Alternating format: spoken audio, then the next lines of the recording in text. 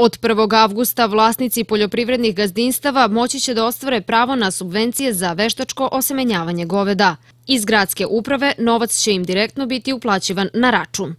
Praktično da kažemo koliko je cena veštačkog osemljavanja 2 ili 3 hiljada dinara, mi ćemo sufinansirati cenu veštačkog osemenjavanja u iznosu od 1000 dinara po jednom osemenjenom grlu.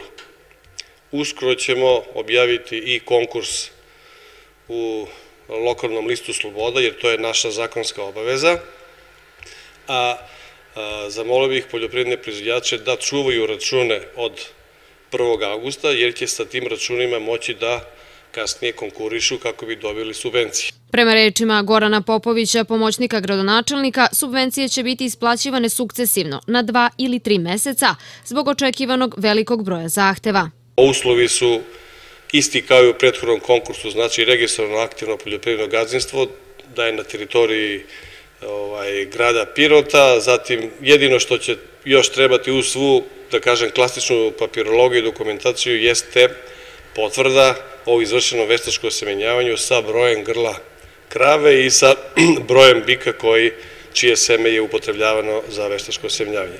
Na taj način će naši proizvodjači moći sami da biraju ko će raditi veštačko semenjavanje, koje će bikove koristiti, jer to i nije u našoj nadležnosti da mi određujemo e, ko će od proizvodjača sa kakvim semenom da osemenjava svoje krave. Popović kaže da je moguće da pored veterinarske klinike Pirot ovaj posao obavljaju i privatne veterinarske ambulante. Za ove namene do kraja godine u budžetu je predviđeno oko milion i po dinara.